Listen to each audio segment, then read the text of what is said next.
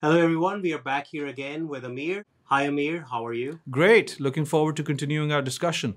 Since you run SparkCognition, it's been around for over 10 years, has done pretty amazing work, especially in the industrial AI.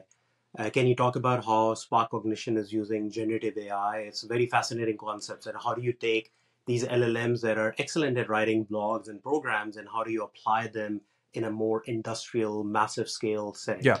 So uh, uh first thing is that uh, you know SparkCognition has been using generative AI for a while.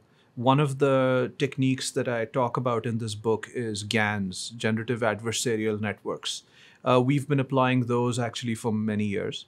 Uh, most recently, one of the most exciting things that we've done in this field, which I think is probably the largest commercial uh, use of generative AI um, so far uh, within the field of energy, is what we've done with um, the use of generative technology to create seismic images uh, based on a small percentage of the data that's traditionally been used. So in the in the seismic imaging industry, you might be scanning, let's say, for oil deposits, and what you have to do is you have to use, let's say, acoustic returns. You've got acoustic sounding devices. They emit a signal that is returned, and based on that return, you you calculate the geography, the lay of the land, if you will. And that has to be accurate so that it gives you uh, a good idea of where to drill. Uh, typically, the way that's done is you've got these, you know, large ships carrying uh, a, towing a net uh, made up of many, many acoustic sounding devices. And then all the data is gathered. Then it's put into high performance computing systems, HPC systems, and they crunch through this data. And that's a long process, and it comes up with an image.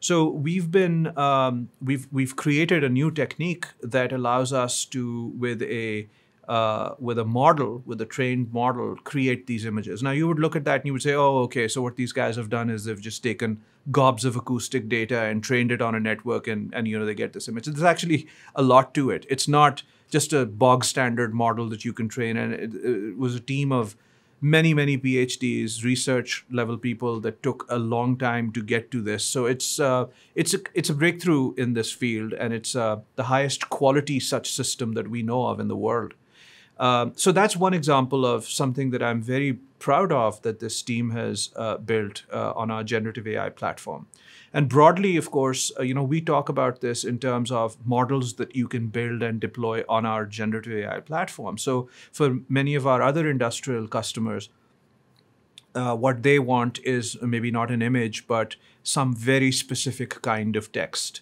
You know, it's it might might be related to let's say code, code generation, but in a field that a stock LLM or a open source LLM will simply not provide partly because that LLM may not have access to this data set because the data set is entirely proprietary and unavailable on the internet and has never been seen by any of these uh, uh, these these larger commercial or or even uh, open source models, and and partially because uh, there might be some special requirements. Uh, you earlier alluded to the combination of LLMs with other things, with other forms of AI, and uh, that's also something that we're able to bring uh, to the table. And the, the generative platform is a very, very important part of our business going forward. That sounds fascinating, like taking the the generative platform and using it to create uh, synthetic images, which are extremely useful and actually probably uh, can reduce the cost by millions of dollars, if not more, and also improve the the speed of uh, of discovery as well. Amazing. Now that you put it in those terms, let me let me walk you through one simple uh, kind of contrast. So you know, uh, early on with many of these uh, kind of public generative models that were generating images, you would go in and you would say, okay, generate the picture of a, of a boy standing by a wheat field or whatever, and it would generate a pretty good picture. But then you would look at the hands of the boy, and some, sometimes there were six fingers, and you know, so on and so forth. So what what what's basically happening there is that that system is operating essentially by just doing pixel prediction, right? Basically, what's happening is that pixels are a sequence, and uh, now there's a lot more to it in the sense that it's not just the next pixel, but it's actually uh, you know, let's say a vector of pixels at a time, and there might be X missing pixels that the system has been trained to predict and fill those gaps in. So that's what basically is happening, right? Uh, so it doesn't know that what it's producing is a human being. Uh, it doesn't have an internal model of a human being, nor does it know that generally human beings have five fingers, right? So it, it doesn't know those things. So whatever the next sequence of pixels is, now you give it enough data, it gets so good that the distribution of the training data uh, with a very high probability is going to end up with good images because that's kind of what it's pulling from the training set. But that's different in this scenario that I'm uh, describing to you because you might have seismic data, but you're not going to have the same amount of seismic data as you have pictures of people on the internet, right? Because in that kind, that volume of seismic surveys hasn't been done. Second of all, the system has to have a sense of what it's doing. It can't just predict the next pixel alone, right? So not to get too deep into that, but that gives you an example of kind of how you have to combine multiple things, and it's not just you know um, relying on domains where you have essentially unlimited data, and where you can do a random selection of probable pixels or probable tokens from a source training distribution and end up with a meaningful result. You know, there's there's uh, there's many tougher tasks than just training a bigger model. Maybe we should do a, a podcast just on that particular seismic images. I'm sure everyone would love to know more about it because it's very opaque for most people, including myself. You had a book also recently, right, which with uh, generative drawings created uh, using AI as well. That's right. Uh, that book is actually uh, called Generative Art, and it's an exploration of how algorithms can create art. So, um, you know, again, what is and is not AI is uh, sometimes a, a, matter of debate. So, people today think that, you know, if you use a neural network, then that's AI and everything else is not. But actually, the field of AI encompasses machine learning, of which a subfield is uh, deep learning and neural networks. So, there's a lot more to AI than just neural networks, but sure. Uh, you know, generative art has been around also for a long time algorithmic art, as it's alternatively called, has been around for a while. Uh, and you know, interestingly, um, there's there's certain types of algorithms that show great um, results, and then the whole field, all of all of uh, research, uh, the entire research community kind of chases that area for a while. It becomes the fashion, and then people move on to something different. And you know, I've kind of seen this. Fuzzy systems uh, because they were showing great results in controls uh, they became you know the the um, the idea du jour for a while. Uh, Bayesian networks then SVMs for a while became extremely popular then neural networks uh, came back you know with deep learning. Uh, and these ideas will continue to evolve and i think there'll be fusions. Uh, you were earlier alluding to for example combining something like Cyc with something like uh, ChatGPT or in other words taking symbolic ai right. and combining that with the output of llms yeah i mean i think all those are great ideas. They're being pursued by a lot of people. So uh, i've always been interested in generative art algorithmic art. Uh, also actually uh, poetry assisted by LLM like systems. So many years ago, I wrote uh, a program that uh, worked based on uh, the, the life works of many of my favorite po- uh, poets and recommended, um, you know, sort of sequences, which I would then use as motivation. But because I wanted to make the poem my own, I would adapt them. And I uh, published uh, actually uh, one or two of these poems in a column that I do for Forbes uh, uh, several years ago. So um, I, I've always thought that machine assistance in ideation is one of the most powerful things you can do with a machine. And so generative AI now is only the latest uh, kind of uh, manifestation of that concept, of that idea. My next question is more about the AI, whether AI will disrupt the job market, and should I uh, take my kids out of school or leave them there? But I think uh, uh, if you can talk a little bit about uh, the, my kids, as you know, one is in middle school, one is in in elementary school. Um, will they have any jobs left by the time, let's say, they enter the workplace? Uh, and this is a common question that a lot of parents are, are wrestling with that which field should they go into what is going to be the future of of work? And you, you touched upon it a little bit but if you can briefly just uh, talk about the future for our kids and well my youngest is in fourth grade now and he uh, recently wrote me a long letter complaining about school and i wrote him a very serious response saying that you should consider leaving school and uh, here's what you might do instead uh, and of course, every time I sort of indulge him in that and I tell him, you should just go ahead and leave school, he then turns around and gives me all the reasons why he shouldn't.